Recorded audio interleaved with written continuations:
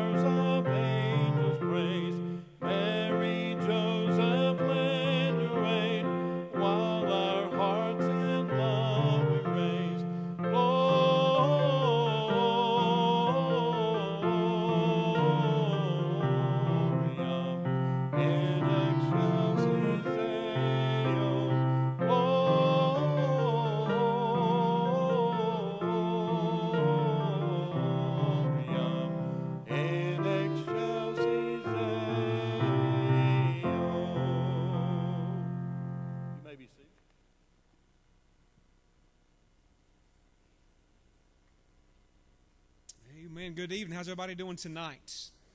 Amen. Y'all get a nap? Y'all need to wake up. Y'all didn't. Y'all weren't even singing just then. Everybody sounded quiet. I know it's a Christmas song, but we can still sing it on the t- on the 27th. Hey, let me just run a, a little poll right here on the words Gloria. How many of y'all can carry that out one breath? Okay. How many of y'all like me? You pause and catch back up and, and finish it. The rest of us catch back up. And rest. All right. I'm just just curious. yeah, amen. Well, obviously you didn't get enough, so you had to come out and get a little bit more Jesus tonight. So we're glad, we're uh, thankful for you to be here tonight. Uh, would you please bow your heads and hearts with me as we go, Lord, in prayer together? Father God, thank you for your presence here this morning, God, and we invite you back here tonight. God, our confession is that without you, Lord God, we would just go through the motions, Father God, but we would leave unchanged. And God, we don't want that, Lord God. So we invite you once again, God, just to visit this place, dear Father God, and just uh, saturate this place with your presence, dear Father God. Change us, dear God. Lord, you know, dear Father God, uh, just the, the needs of our heart, Father God. So, God, I just praise you just for just blessing uh, Brother Keith and, and just use him tonight as your mouthpiece, dear God. May we hear from heaven tonight. And God, I'll thank you for how you'll bless. I know you can. I know you want to. And I pray believing you will, Father. And we just ask all this in the name of Jesus. We pray believing. And all of God's people said, Amen. I reminded you this morning, I want to remind you again tonight about our upcoming revival, and it's going to be January the 10th uh, with Michael Combs. It'll be a, a, a full concert on, on, on that Sunday evening, two weeks from tonight. Then beginning on the 11th, which is Monday, uh, Tuesday, and Wednesday, the 11th, 12th, and 13th, Rick Core will be here for his 25th year here at Blackrock. And so we're just excited, anticipated. I remember going into last year, you know, as just as my first time as a pastor, being here, you know, to uh, to, to host Rick Corman Combs, and just excited about it. You know, the, the same excitement, anticipation is here again because I remember what God did last year. We're just we're just believing God for greater things than He did last year, and I don't know what that means. I'll leave that up to God. You know, we're going to do our part. I encourage you to help us. You know, there's flyers in the back back there. We, we've already started began posting them in various places around town. So grab some flyers, invite some people, and go on social media and um, and, just invite some people. Just you know, get them here, and especially people that you know that need to hear the gospel, that need Jesus. So we encourage you to, to help us out, to, to, uh to invite people, spread the word, you know, about revival. You know, uh, I'm not getting into a, a message on revival because what do I know about revival, right? But I do know this: we can't we can't bring it. Only God can send it when the conditions of our heart are right. You know, but so between now and then, I want to encourage you, you know, just uh, uh just to uh, up your uh, up your ante. And what I mean by that is, you know, spend more time with God in prayer and devotion, praying for revival, praying for lost people, praying, you know, just for uh, for God to send a spiritual awakening to our church and community. And so I appreciate you praying for that. We will still uh, we are still receiving the Lottie Moon offerings. If you still have not um, have not had a chance to give, uh, just a, a, just a brief reminder: every dime and dollar you give supports international missionaries all around the world, countries uh, that we will probably never go to.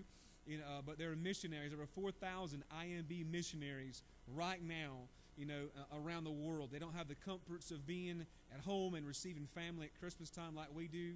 Most of them aren't even here in the States at Christmas time. They're still on the mission field, but you know, they don't they don't want us to be sorry for them. They don't want us to they want us to continue to support them though, and we can do that through prayer, but also a very tangible way is by giving through Lottie Moon offering to continue to support the mission work going around the world.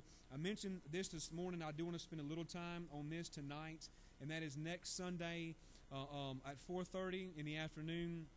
We're going to meet here uh, uh, for some training. David Drake, our director of mission, is going to train our leaders and even our lay people. Uh, sir, ma'am, if, if you're interested in helping out with altar decision uh, counseling when people come forward, uh, we encourage you to be here next Sunday at 4:30 for that. And if you just sit through it and decide, well, this is not for me, at least you'll know you sat through it. You know it's not for you. So don't not come and not wonder. I wonder what that was about. Come and find out. All right. Last but not least, if you are a, a, guest here tonight, we're so grateful to have you here with us this evening. So grateful that you chose to be here. A number of churches in uh, in Nassau County you could have chosen to go to, but we're grateful you chose to, to come here. And so, if you are a first time guest, we're about to have a moment of fellowship where people can greet you and greet one another. But before we do that, if you're a first time guest, would you please do us the honor of just raising your hand so we can know who our first time guests are? We got one over here. Thank you for choosing to be here. One right here, right, down front here, Brother John. Brother Ronnie, you got one right here. I got one right down front here. If you would take that Connect card and fill out both sides of it, and at the end of our service, please take it to our foyer. There's a huge welcome banner there. We'd like to bless you with a gift from our church. So please carry it back there at the end of our service. Would you please, at this time, take an opportunity to stand and greet your neighbor tonight?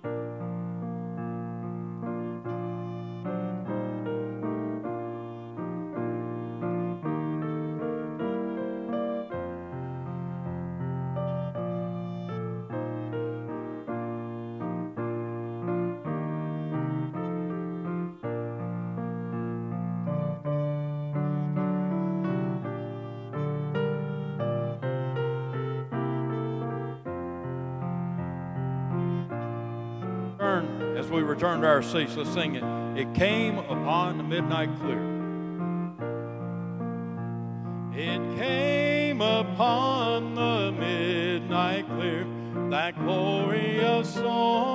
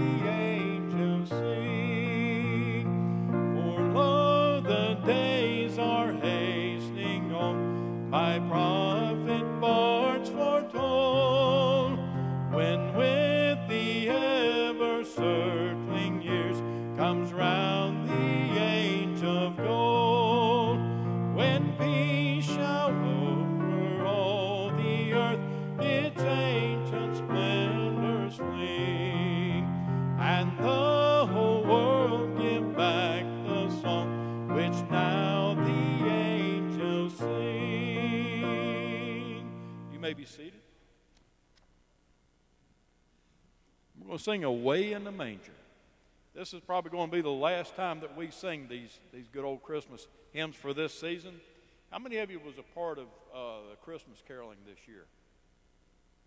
I'll tell you what, if you, if you didn't participate in that this year, I want to encourage you next year to think about doing that because we had, it was a, a real blessing to go around to our, to our uh, uh, the older folks and, and to sing.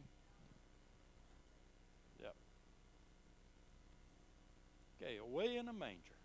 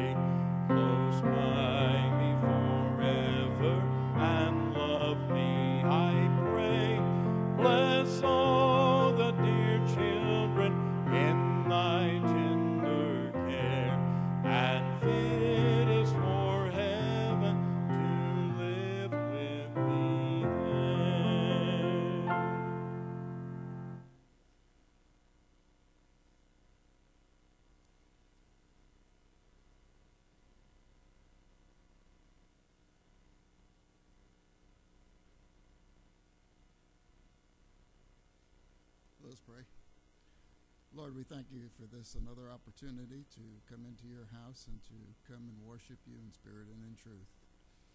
Lord, we thank you for this uh, special time of the year that we uh, are in remembrance of our Lord and Savior who was born to us. Um, Lord, that uh, the Word became flesh and we his name is in scripture called Emmanuel meaning God with us Lord may we not only be mindful of his birth, which was necessary for him to come into this world as a man uh, and 100% uh, divine, but uh, he came for the purpose of dying for us on the cross, shedding his blood for the remission of our sins. And Father, we're may we always be mindful and thankful for that, Lord. Lord, we ask now that uh, you would give us uh, open minds, open ears, and receptive hearts to the message that you've put on Keith's heart to uh, share with us this evening. I pray, Father, that we not only be hearers of your word, but that we may be doers also. Now, as we come to this portion of this worship service, we ask that these tithes and offerings would be used in accordance with your divine will. We ask it in Jesus Christ's name. Amen.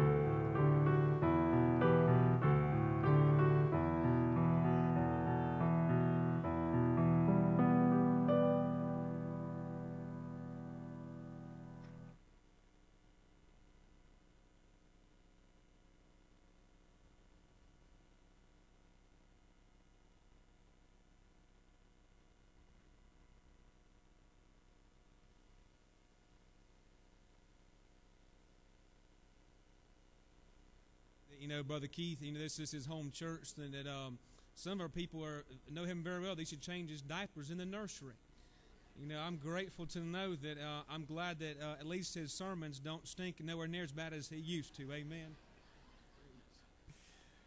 You know, with all, with all joking aside, I want to speak right now before he starts preaching and, and, and just brings a message tonight to every uh, to every children's worker that works in Vacation Bible School Awana or the ins and outs every Sunday morning teaching our children. You never know the outcome of that child's life. So look at every child important. You never know, you know, who what uh, what great giant of the faith you may be uh, speaking into and help raise up. So look at every child through the lenses of what God can and will do in their life. It's funny that he would say that tonight because the message, I think, what you will find is a lot of the same thing that you never know the power of one word that you will have in someone else's life. All of you have had many words in my life, some more than others. Um, some of you like to talk like I do a lot. And uh, so a lot of what you've said has had an impact. But more than that, the way you've lived your life has, has directly um, shown me the way that I'm to live my life. And so many of you here tonight whether you know it or not, I have fond memories of, whether it be Uncle Farrell and drinking yoo-hoos on his front porch or, or the many other memories that I have with each of you.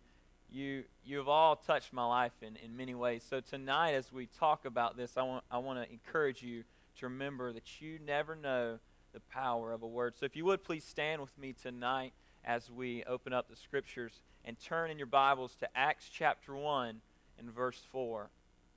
Acts chapter 1 and verse 4. And it says in my version in Acts chapter 1 and verse 4 And while staying with them, he ordered them not to depart from Jerusalem, but to wait for the promise of the Father, which he said, You heard from me. For John baptized with water, but you will be baptized with the Holy Spirit not many days from now. So when they had come together, they asked him, Lord, will you at this time restore the kingdom of Israel? And he said to them, It is not for you to know the times or the seasons the Father has fixed by his own authority, but you will receive power when the Holy Spirit has come upon you, and you will be my witnesses in Jerusalem and in all Judea and Samaria and to the end of the earth. Please bow with me as we go to the Lord in prayer. Father, tonight I ask that you would do something I cannot do, that you would speak your word tonight, that you would flow in this place, and that you, Father, would make your name known, that you would allow your Holy Spirit to speak to every single one of us tonight. God, please hide me behind your cross and, and prepare me for the work that you want to do, God. Tonight, would you not let anyone hear my stuttering and my stammering, God, but let them hear you. Let them hear the words you would have for them, Father. I thank you, and it's because of your name that we will stand and glorify you at the end of the service and each day until our lives are over. In Jesus' precious and mighty name, amen. Tonight, um, good news is there's only two points, there's not three. And so maybe we get out of here sooner, maybe we don't, I don't know. But um, this is a message that was, while this morning's message was very easy to write and very very simple and spoke to some, I think this is a message that that speaks to all of us tonight. And that's why I saved it for the core church, for the people who would return and who already have that basis of biblical knowledge and maturity. Because tonight I want to I want to talk to you about something that God has been burdening me about uh, for some months now.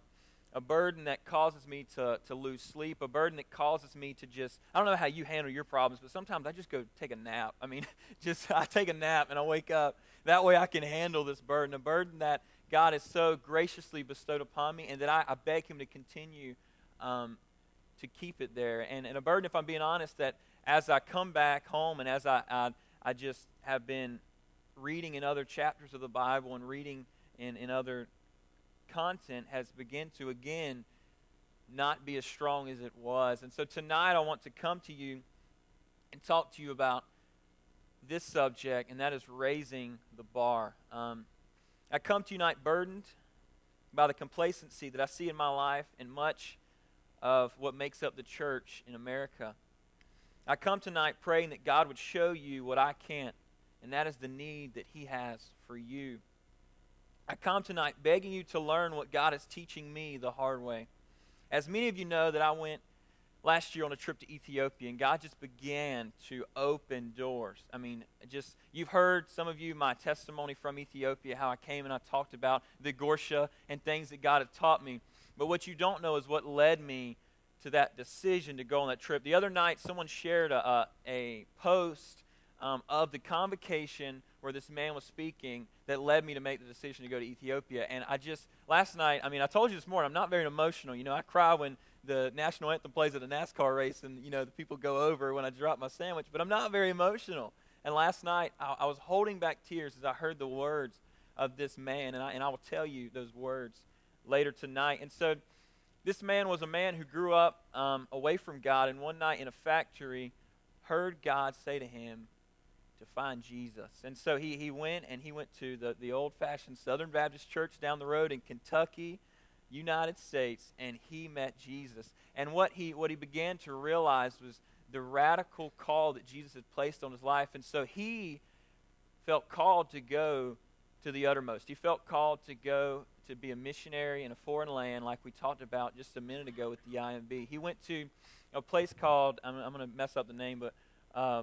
I only read it, so I can't really pronounce it good. But it's a place that many of you will be familiar with. It, it's Somalia. It's where, you know, the movie Black Hawk Down and where our military went in, and, and that movie was based after that. It's a place of extreme violence, a place of extreme evil. And this man went and for 10 years served. And he came and he, and he, his, he began with saying, I come to you today angry at myself and angry at God. And, and he just began to share his heart. He just began to talk about all the things that he'd seen and all the things that he had, had, had done and how he wished he would have done more and how he wished he would have said more. And so I want to share with you a story that he shared with us that day. It was of a man who was so willing to go out of his way for a friend that it just drove him to tears. He, he had to bury a son, this man, um, and, I, and I encourage you to read his book. I've been reading the book. I just got done reading the book, and God has just been, I mean, more than Ethiopia, He's just been, it's one of those things where God is tearing a hole inside of your heart in a precise, just potent words as this man is writing. It's like a 300 page book. And I mean, I'm proud of myself. I don't never read. And here I am reading this book, and God is just ripping me in the chest. And so, what he began to talk about, he told a story. He, he was in Kenya and his son passed away. His son died of, of uh, he was very young. I mean, he was a teenager, and he had they had to bury a child in Kenya. Um, I can't imagine what they how that was. I mean, you know, not being in, in the U.S. where they lived for so many years and not being with family, but they had to bury a son in Kenya. And so he picked up the shortwave wave radio. And he, he already talked about how his church was, was a church like many of you were. I mean, they were at his house every night cooking dinner. They even went to the point of singing them to sleep. They would sing to them in their living room until they fell asleep. But this one man, this one Muslim man, um, he, he was a very extroverted. He was much like myself. He moved his arms around. He talked a lot. And, and so he, he picks up the radio and he tells him that his, his son has passed away and nothing no, no response, no nothing. And so he just thought there was a bad connection. And so five days later, and they're in Kenya now. They're not in Somalia, They're not in Mogadishu. They are five days away in Kenya. This man, as soon as he heard those words, he put down the radio and he began to walk. And he walked, and he and he said that he climbed through um, areas while clans clans were fighting each other. He climbed around wars going on. He he rode camels. He walked around minefields. He walked through minefields. Five days to come and to just help this man bury his son. And he went to the point of even at the funeral, sitting between the man and the woman. And at the end, he grabbed his hands and, and he said, "We buried our son." And he began to weep with them. And the the most amazing thing, and the the most that I hope you get tonight was what he said at the end. He served 10 years with his people, and he looked for multiple time, multiple ways and multiple times to share the gospel. But of 150 Christians in the whole Somalia area, there was four left, and four of them got killed. They were his really good friends.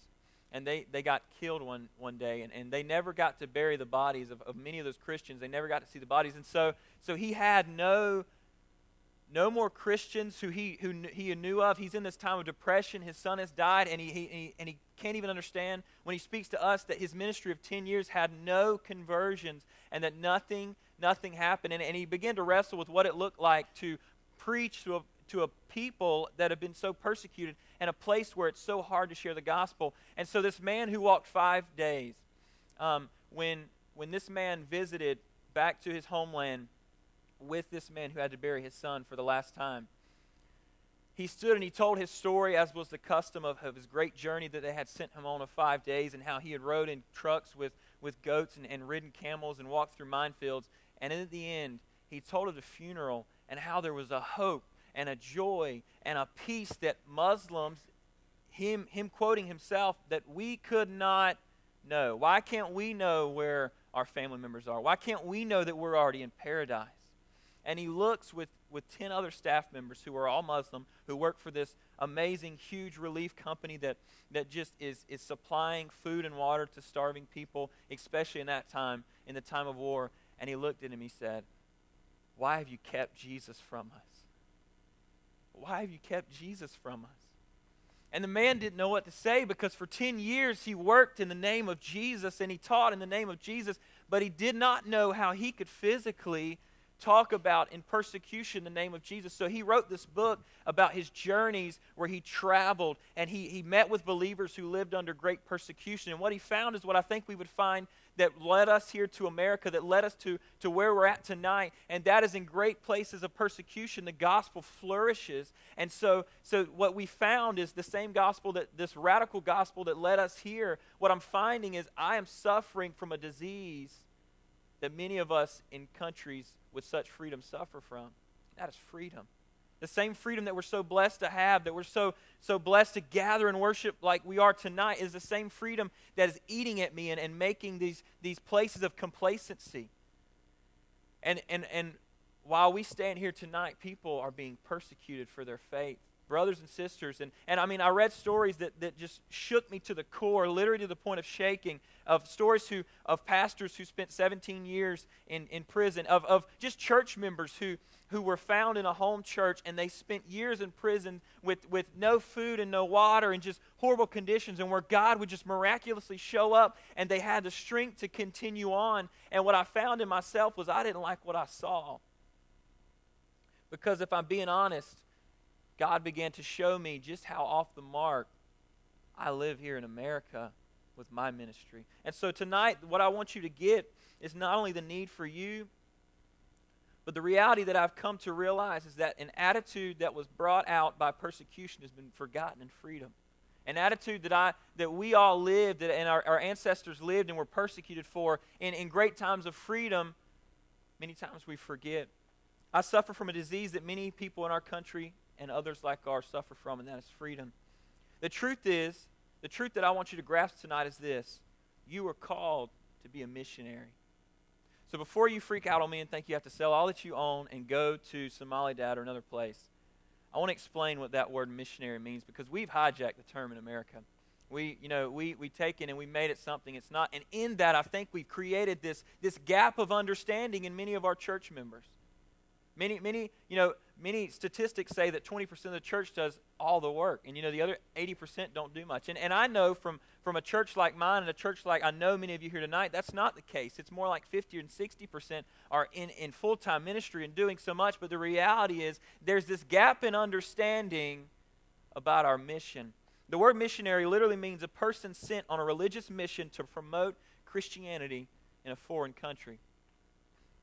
As I was reading this, I was reminded of Hebrews 13, 14, in which, and this is the Keith version, says this We have no lasting city, we hope for one that is to come.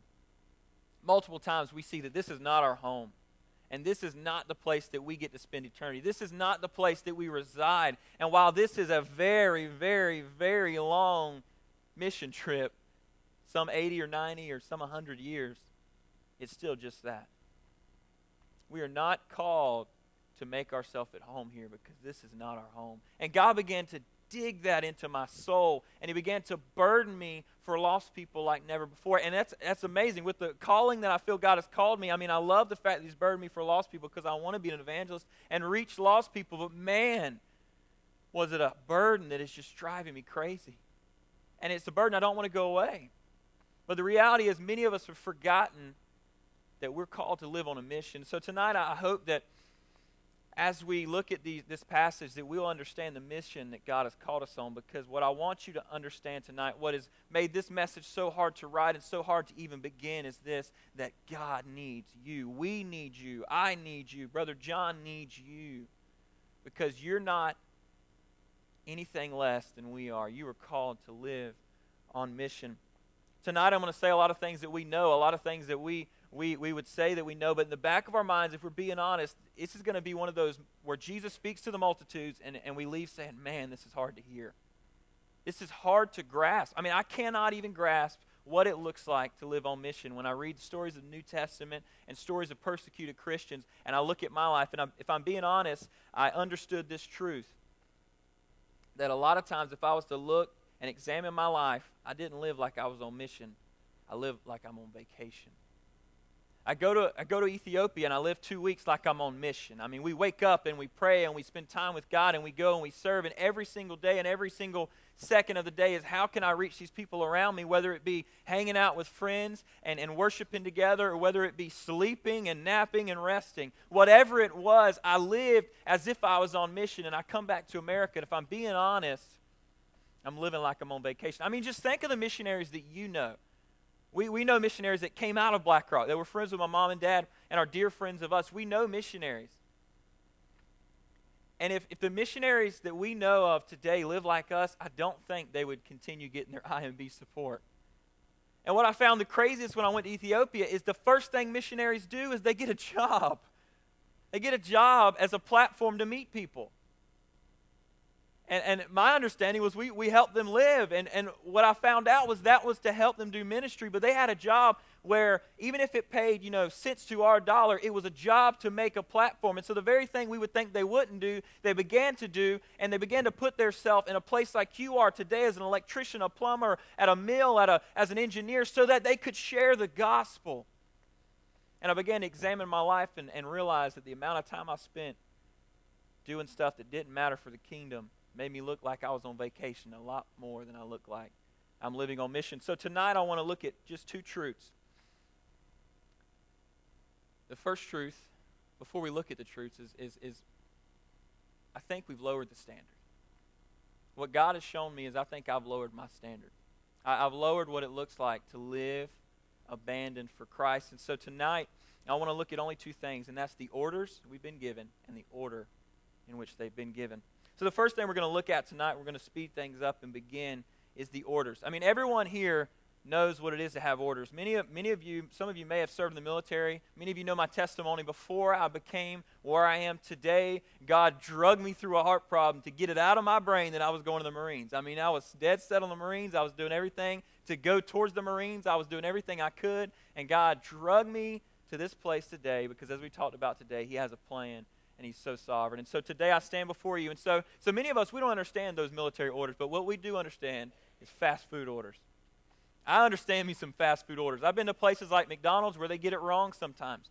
Uh, my, my mother sent me a picture while I was at college the other day of a bun and pickles and lettuce and tomato, and there's one thing missing the burger. She said she ate it though because she was hungry and she didn't feel like going back in the line. I was like, well, that's your own fault. Don't you blame McDonald's. You wouldn't go back. I've been to Sonic when it first opened, and the same thing happened to me. I get this cool little sandwich and no burger. But I've also been to places like Huddle House. They don't get it wrong, okay? We went the other night. I had, I had a wedding to do yesterday. I got the privilege to do a wedding, and man, is that much more nerve wracking than this tonight. And we went to Huddle House the night before, and at 1 in the morning, my buddy texts me and says, You know, I'm vomiting. Just want you to know that. I'm very mad at you. My thing is, man, I treat it like a missions trip. I go in knowing that it's good, and I don't want to know what's in it.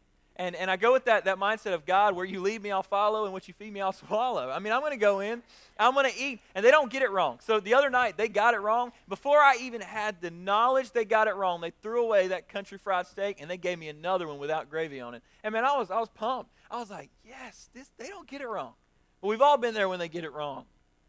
So tonight, I want us to look at what it looks like to get it right. So the orders we've been given, the first thing in verse 8, and that's where we're going to spend all our time tonight, is this it says, But you will, will receive the power of the Holy Spirit when he comes upon you, and you will be my witnesses in Jerusalem and all Judea and Samaria and to the ends of the earth. The truth tonight is the first order is to wait on the Spirit. The first order of business, the first order we've been given is to wait on the Spirit. Notice those that phrase, you will. Jesus didn't say, you know, go.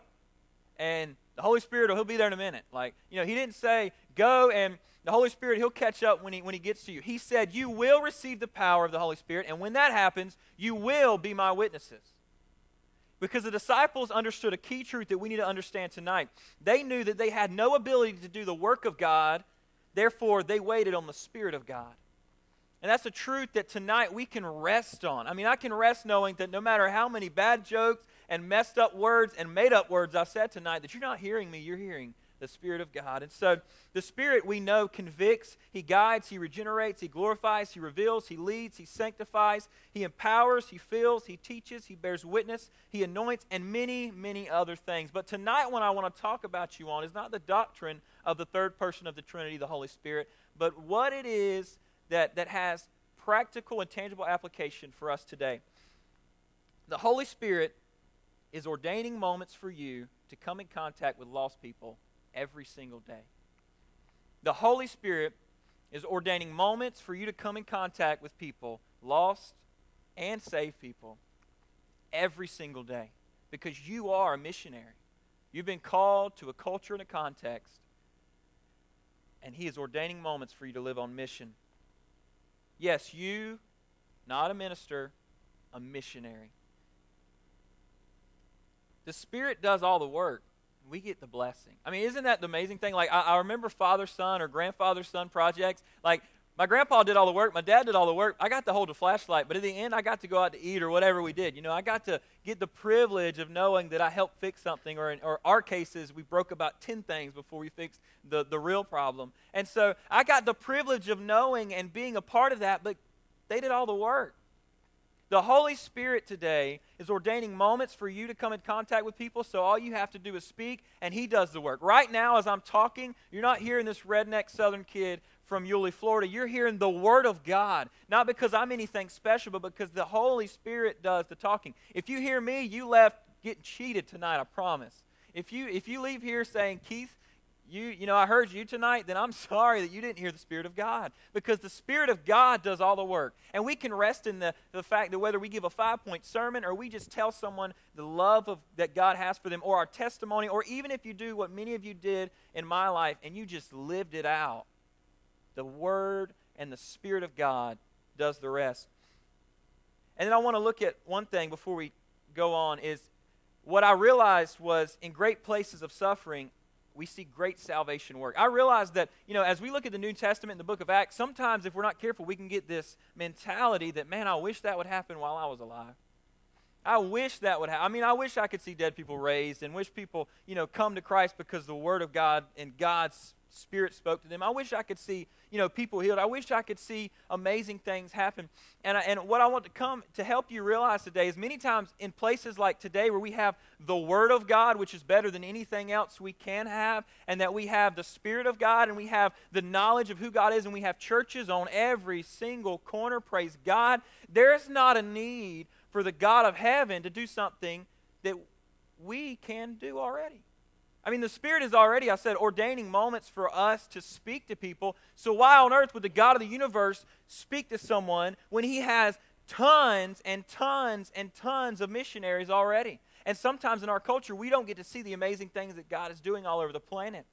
And so I read in this book of, of just co- this collection of what he found in persecution where God was just showing up and showing out. I mean, in places where there was not a single Christian, the author writing this book, and while he's while he's getting his, his research and material, he tries to meet with his pastor multiple times, and it just doesn't work out. He can, continues to get sick and messed up, and he has a, a, you know, he's on this journey. He's across the country. He just can't come back.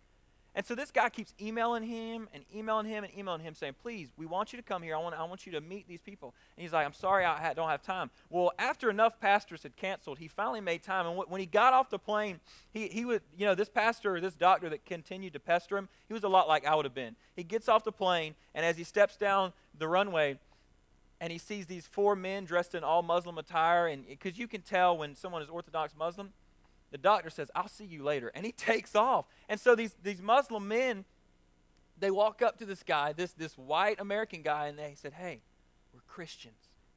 And he was just dumbfounded. So he, he does what any, you know, someone who's just surprised dudes, he hops in the car with them. And so he goes and he finds out later that the Spirit of God led them through, because in their culture, dreams are a big deal. They pay attention to dreams. And so God, knowing their culture, gave them a dream, and the dream all four of them, it said, find Jesus.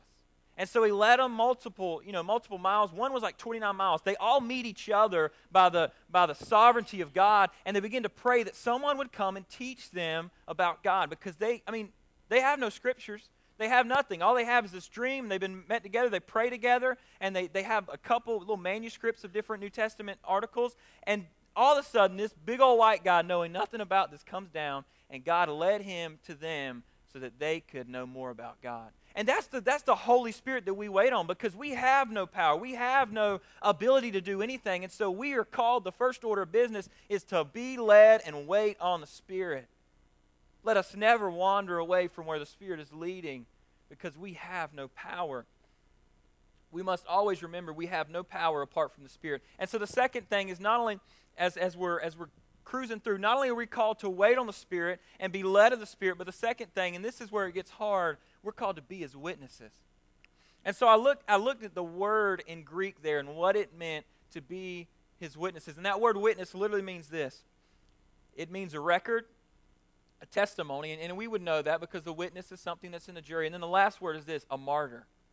You see, the very same word there in the Bible, I mean, I'm talking the original translation is the same word used in Revelation and multiple other places for the word martyr. See, the reality is, everyone in here, we may never go and die for the gospel, but we're martyrs. Our old self has been, has been demolished. Our old self has, has died, and we have been called to a new life in Christ. We've signed a blank check saying, God, I give you my life. And the reality is, what I found in my life, I believe that our biggest threat to our mission of God is our dead bodies we continue to trip over. I continue to trip over this, this hick country Keith every day when I get up. I continue to struggle with my flesh, and that's my biggest threat. My biggest threat is the Keith that has already died and given his life to Christ. Every day, as I say, God, I want to give you my all, the dead Keith kind of gets in the way. Says, we well, know that that seems a little bit crazy. I'm sure they'll be fine.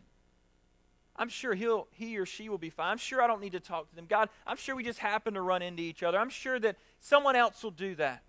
My biggest threat, I'm personally, this, this isn't no one else. My biggest threat is my dead body that I continue to trip over. The church's original design was this to be a body of witnesses who tell of the evidence of God in their life. And we, we all know that, but, but sometimes if we're not careful in our culture of these awesome, amazing buildings we're in, we will, the statistics say, John Maxwell says that the first thing to go in a church is evangelism. The first thing to go. The people stop telling people about Jesus and they just invite them to church. Because we have a building, you know, the pastor, the minister, he'll, he'll present the gospel. But did you know that the, the pastor's job is to equip you to equip the saints. So, so I'm called, and Brother John's called, to equip you to do the work. We should, if we were looking at a map today, the arrows shouldn't be pointing towards the church. They should be pointing out of the church. We go, we be the church. In, in the reality that we are the church, people become a part of the church, and we bring them to our local church of other people who are the church. If this building was to burn down tomorrow, we would still be the church. And God has called us to be the church. And I can't wait till we get to the second part. And, and, and the minister, by the way, is not more holy than you are. The minister is no more holy than the missionary. Sometimes, if we're not careful, our culture, especially when we're lost, you know, for any of us who spent any time being lost, because we were at lost, but some of us spent in Christian culture, we knew the pastor, we knew those people. But I have friends that, man, the thought of them stepping in this building and it not falling is just, it doesn't make sense to them. I have friends who won't get near a church because they think me standing up here, they're going to just fall down dead because the fear of God. But the reality is, while my, my, my purpose and my platform, my platform is different, our purposes remain the same, and that is to build up the kingdom of God. And so every single one of us may not be ministers of the church tonight, but we're missionaries of God. And that is where God has got you is far better than any other platform you could ever be. And so tonight, as we see we see our orders, I want, I want to get to the good part. And that's the order in which they are.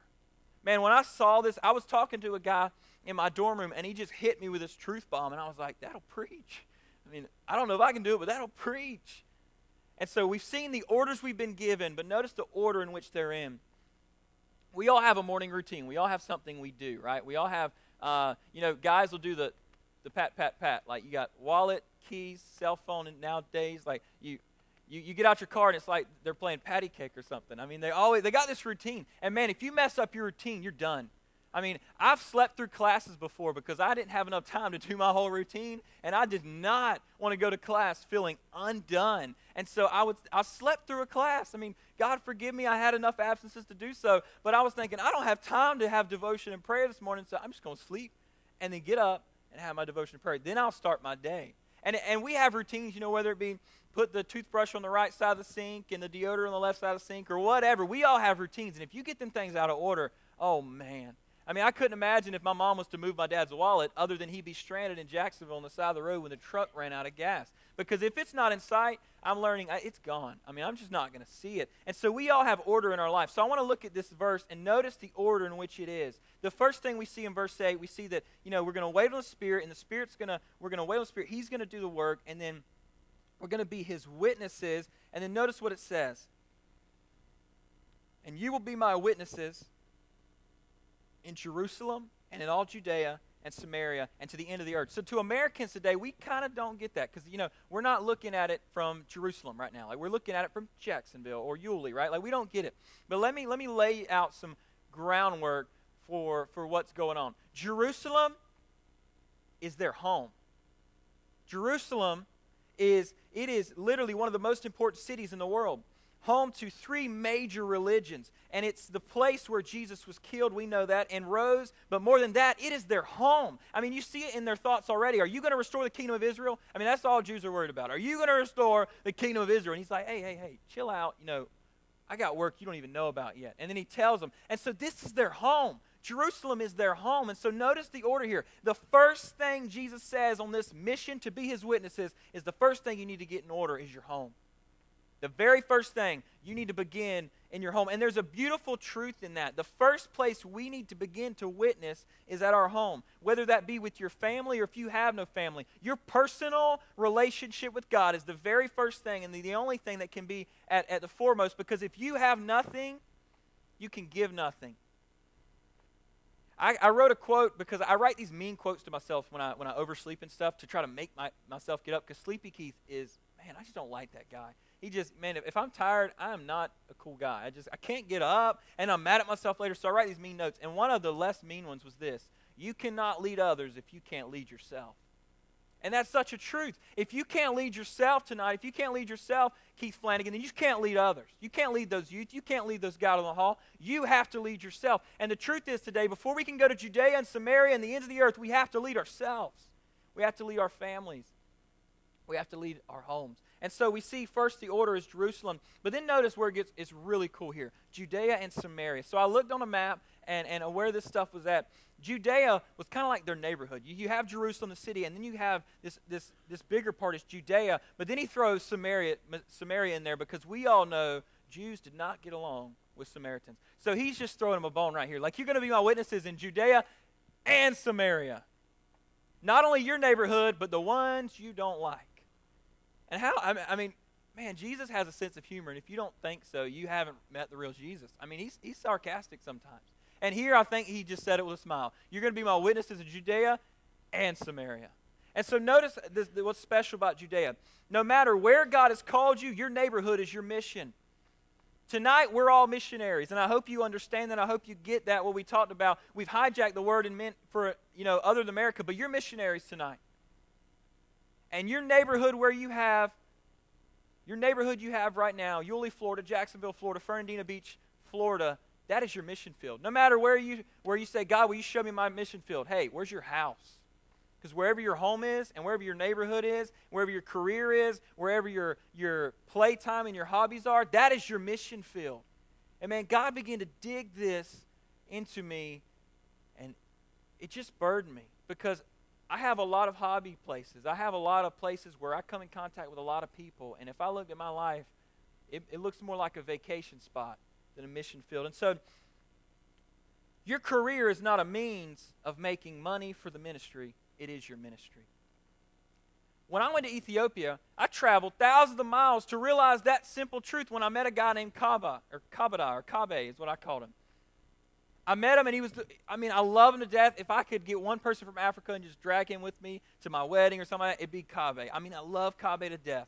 And, and he was just, man, me and him fell in love. And one of the first things I heard about him was that he took soccer and he, he you know, he loved soccer. He played soccer. And he had 82, and I told you this before, 82 young people who he played soccer with, and he used it as a platform for the gospel. You see, he understood what these missionaries understood, what other people understood, and what sometimes we don't understand You don't have to quit your job to be used by God because God has placed you there as a platform for the gospel. Your job is not a means to make money to help the ministry, a means to make money so that you can do ministry. Your job is the ministry. Whether you're a businessman or you work at the mill, whether you're at the convenience store or the Walmart, whether you're at McDonald's or Subway, God has got you there because that's your mission. That's your mission field. And when I got a hold of that truth, I told you this last time, I tried to get a job at McDonald's. Because I was like, I'm going to go to McDonald's. I'm going to tell every single one of them about Jesus. Because when we understand that truth, I mean, it sets us free. Because if God's made you an engineer by the grace of God, then you have called to reach those people in that context. You don't have to go looking for a place to serve, at, eh, you know, elsewhere in the community, you know, because you feel like you have no place. You are being watched. And just as I learned from you, others are learning from you, and I thank you for that. And you know this better than I, that your career is your mission field. Our mission is to, to reach the world begins by reaching our world. Our mission to reach the ends of the earth begins by reaching the ends of our earth. We may not be called to reach people globally, but every single one of us in this room is called to reach people locally.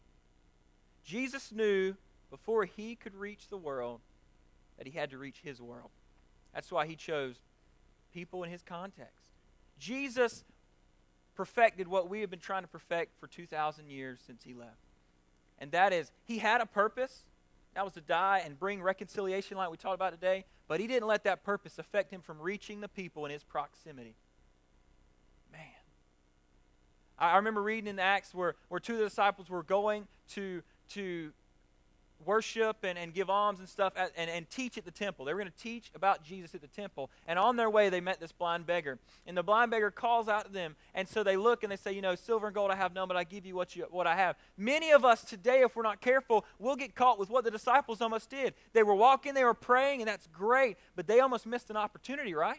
Had they not been walking and praying and being aware where God was leading, they would have walked right by that guy and the mission field that they walk past. And what I found in my life growing up in a, in a minister's home is many times we put on our, our, our, you know, our gloves and we go to our, our Christian events and it's like, you know, we get our salt and we put it in the salt shaker and we drive it from our house to church and from church to our house and we like live at the church and we, we're barely at the house and we're doing awesome stuff for God, but we miss everyone in our neighborhood. We miss everyone and all these lost people we're supposed to come in contact with because it's kind of like the Good Samaritan. We're doing great things for God, but we're missing out on the people who need us most. So I beg you to help. I beg you to understand tonight what God is teaching me. And that no matter what I do in life, no matter where I'm going, never let my purpose affect me from reaching the people in my proximity. And then lastly, we see to the ends of the earth. So I want to wrap up. You know, many of us tonight, if any of us will, will ever be called, you know, other than short term missions, you know, trips to go and serve um, to serve in long term concept context.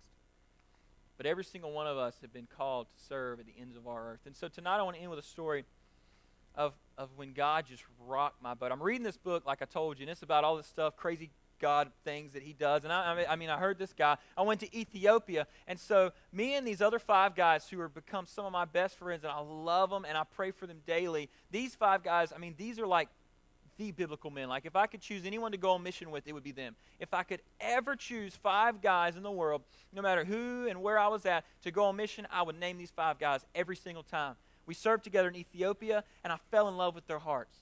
They're humble, they're gracious. I mean, everything they talk about and, and do is sprinkled with God's grace. And so, I mean, it just, it, I don't even feel worthy to be numbered among them.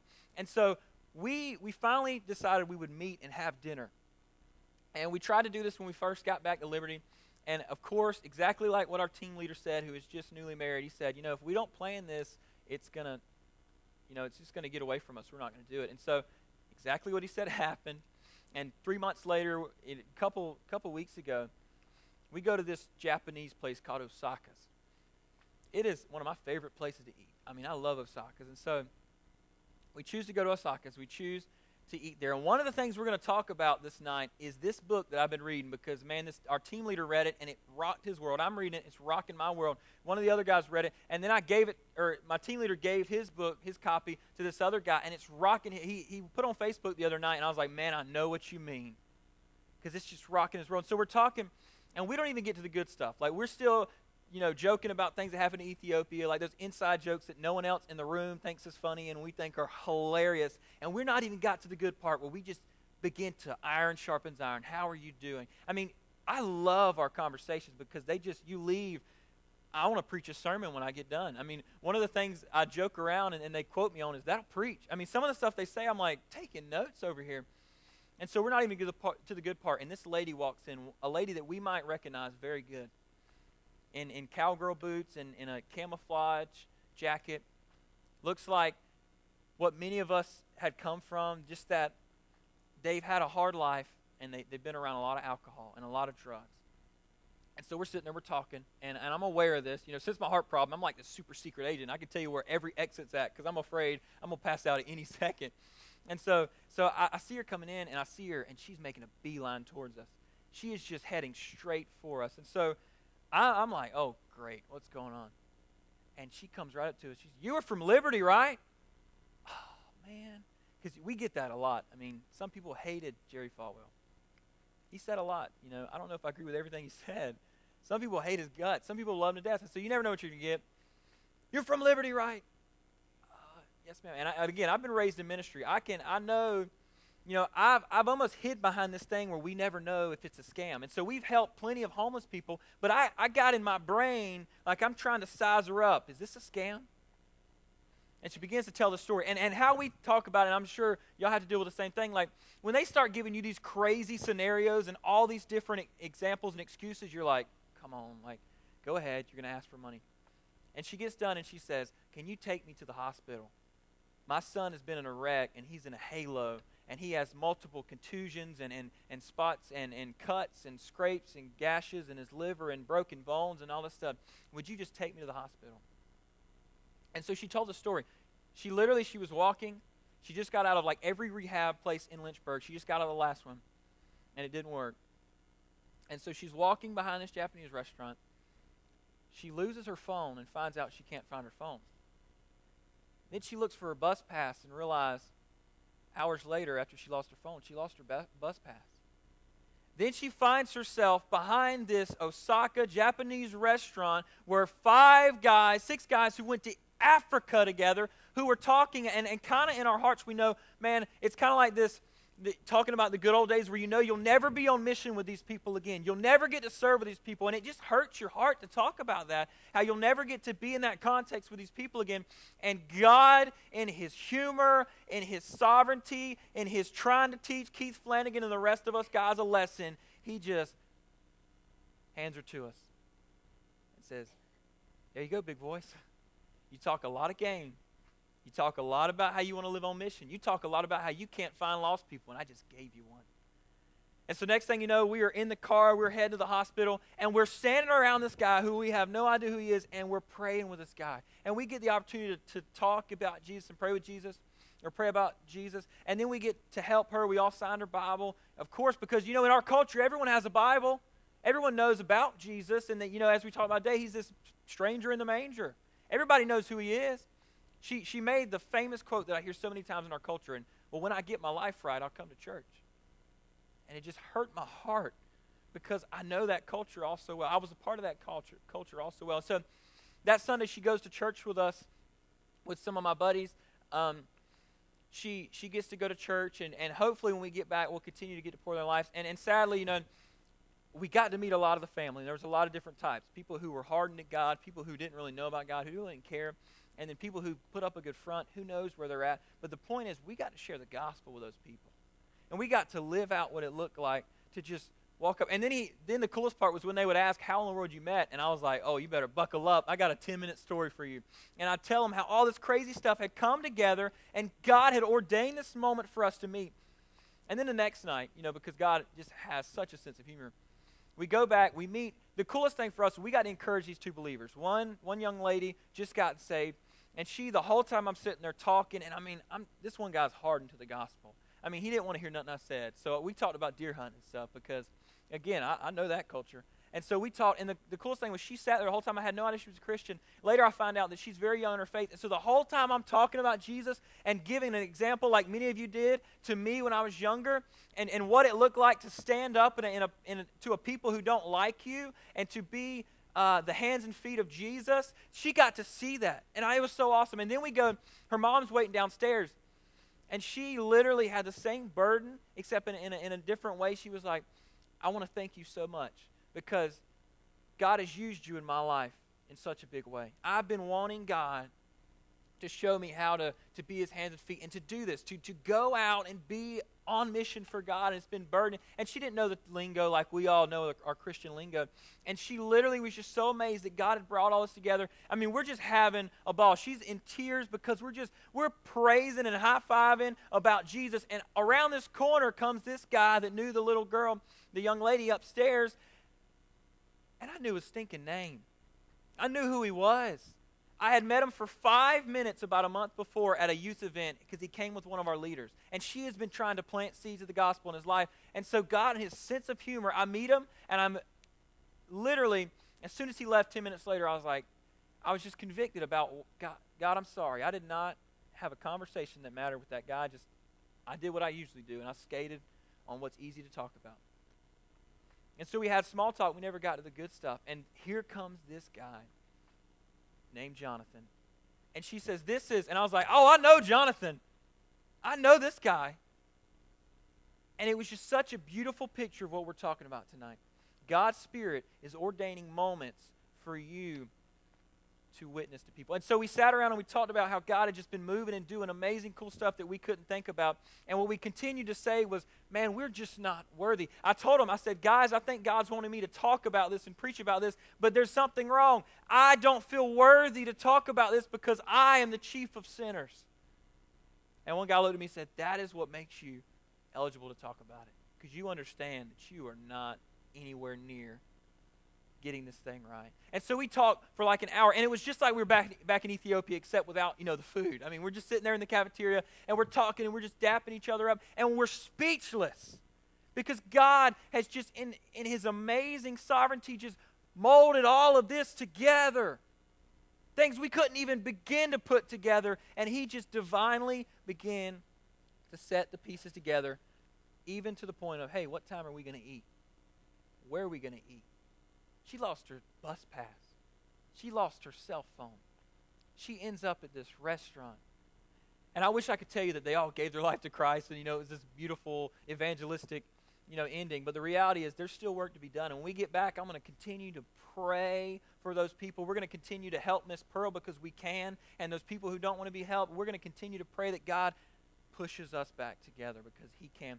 So as we close, I want to ask you what is your Jerusalem? What is your, your Judea and your Samaria? What is your ends of your earth? Where has God put you that you can be more intentional about having conversations that matter and reaching people? Where has God placed you to reach your nation? I want to end with the story of this guy who spoke at combo and i watched it the other night and i never heard this part but but he talked about his supervisor who led this mission for people to go and to serve in these places and a spe- specific mission and this mission board like imb and he said you know this man is a man you could follow and he told the story about what happened on 9-11 and he said the first thing he thought the first thing he did the first thing that happened was he fell on his knees and he said god forgive us God, forgive us. He said, God, forgive us because we never made it to their country. God, forgive us because we never made it to their city. We never made it to their village. We never made it to their Jerusalem, to their home. We never broke bread with them and showed them the love of Christ. God, forgive me because we never made it. I think it's no, no stretch to say the reason in the places we send the most air support and drones and troops are the same places that are in the most need of the gospel. And we may never go to those places. Many of us, most of us, maybe all of us never will. But there is people in our context right now that are in the same boat they are. They've been raised, they don't know any other thing. They may know what we're about, they may even know who we're about, but they don't know who we serve.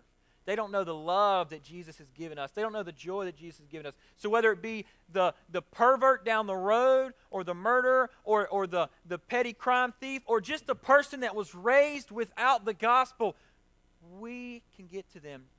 And, and I want to I pray that I never get to this point, and I pray that we never get to this point tonight. And that is what that Muslim man said. And that, that Muslim, 10 Muslims looked at them, rad- um, not radical, but very devout Muslims, and they said, I pray that I never hear the words that they heard. Why have you kept Jesus from me?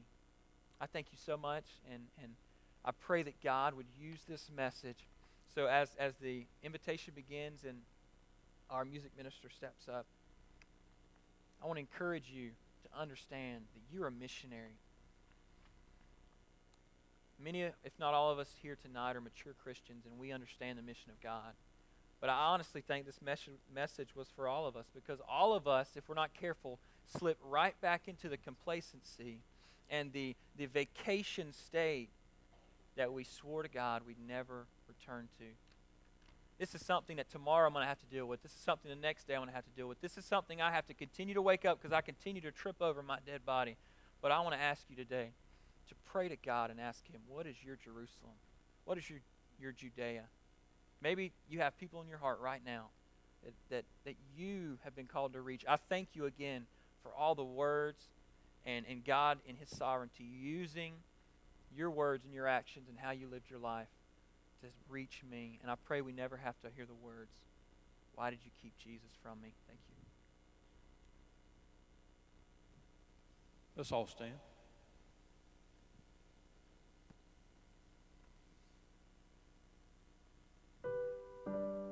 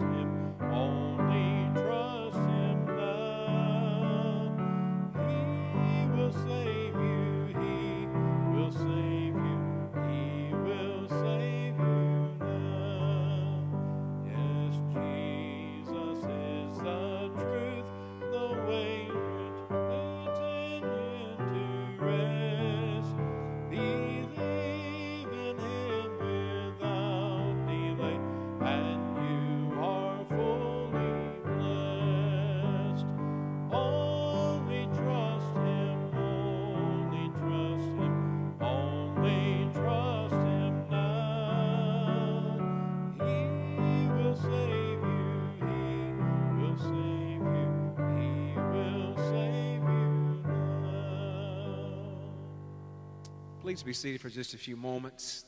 Um, where do I begin after a message like that? There's nothing I need to say to follow up with that. Nothing I can say to uh, uh, that needs to be added, you know, to that message tonight. When I said this morning to encourage you to come back tonight because you would be challenged, I did not know would be challenged like that, my brother. But I appreciate that. Your brother Keith could have came and just showed off his education he's gotten at Liberty and just wowed us and impressed us with a lot of theological rhetoric. He did not do that tonight. You know, one thing I learned about a mirror is a mirror is going to be honest with you. It'll show you exactly what the reflection is. You know, there's nothing that's going to lie to you. It's not going to embellish you. It's going to show you just what you what you are. The Word of God is a mirror. So I still like to say this: if this message was kind of uh, um, kind of offensive to you tonight, as the preachers say, if this message offended you, you needed to be offended. A lot of times we gravitate, we don't gravitate towards the things that are abrasive and challenging. We, in our human nature, we gravitate towards the things that are comfortable. So, out of this message tonight, I want to encourage you. I just wanted to give you some, some, some following remarks and how, how God really spoke to me, and that is we should never gravitate towards just what's comfortable. I don't believe God is necessarily wanting to bless what's comfortable, but He will bless our obedience when we embrace even the things that are not comfortable. You know, I think about Peter, and I'm not preaching on the sermon, okay? So you, you can still get your car keys ready and all that stuff you normally do, okay? You know, I think about Peter. Peter, the other 11, they stayed in their comfortable positions in the boat, but not Peter. You know, we say a lot about Peter with negative connotations and make fun of him, deride him, but at least, though, boy, he rocked the boat. He got out, and he did what Jesus told him to do. Jesus said, Come.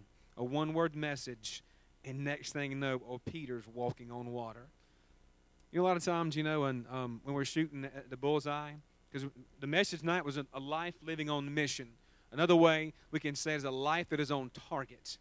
A lot of times I know I, I'm not a big, you know, dart thrower, but, you know, just the few times I've done it in my life, I'm happy just to get on the paper. Can I get a witness? Anybody else? Happy just to get on the paper somewhere. And so you're just content with just getting it somewhere, and even though you're not hitting bullseye, you're just you're fine to get it on paper. A lot of times that is a, that is a testimony of our Christian life as well. Our life is, and we know it. We know our life is not hitting the bullseye. We're just happy just to be a Christian. We're happy just to be in a church, or we're happy just to be alive. But listen, is your life hitting the bullseye that God has intended for your life to hit? Jesus told his disciples, You will be witnesses in Judea, in, in, in, Jerusalem and Judea, and in Samaria, and unto the uttermost parts of the world. We as individuals and we as a church cannot be comfortable just to be hitting the target in Yulee or in Fernandina but listen, we cannot be comfortable just by hitting local targets. We must be, we must be uh, compelled to embrace Jesus' direct plan for our lives and living a life on track, living a life on target, living that life on mission. It might not be comfortable, but I promise you this it'll be well worth it. One of my near dear friends is in heaven, Jimmy, uh, Jimmy Harper. Love the Lord, a preaching, preaching machine. He worked at the same company I did, Southeast Toyota, for a number of years. Walked away from a very lucrative job. Went to college in Clear Creek up in Kentucky. Came back and was, was uh, doing some revivals. Was, was, was, was going to get into pastoring. But the, in his mid 40s, he got a brain tumor. He's on his deathbed. He's not going to not gonna survive. He told me, and I'll never forget this. He said his only regret is that he cannot do more for Jesus. A lot of times when we see people on their deathbed, uh, their testimony is different. They regret, they wish they would have done more for Jesus. My epitaph for my friend who's in heaven today is that he had a righteous regret. A righteous regret. Not that he should have done, but that he wanted to stay and do more for Jesus. The late, great Adrian Rogers. Love that man. He said these words. A lot of preachers, they say these words Get right Give your life to Jesus because you may die. He said, I say these words get right and give your life to Jesus but you, because you might live.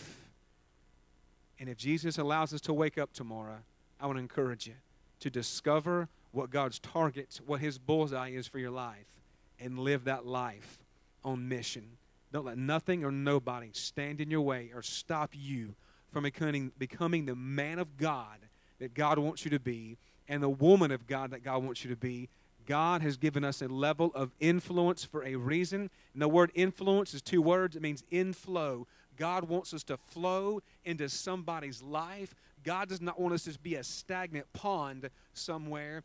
God wants us to flow as the rivers flow into the oceans. God wants us to flow into somebody's life. And listen, God, God have mercy on us. And I'm speaking to me right now who, when we sit on our blessed assurances and don't flow into people's life, we have a life, we have a message that can bring life, and God have mercy on us if we hold it in.